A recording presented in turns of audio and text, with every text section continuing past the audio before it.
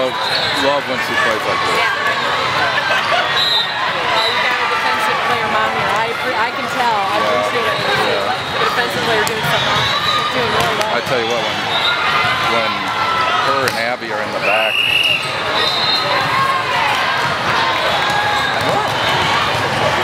Saying something. She's saying something.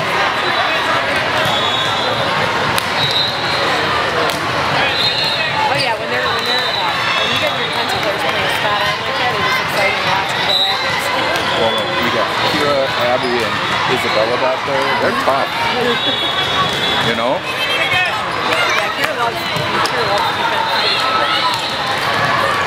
You can deny somebody on the other team.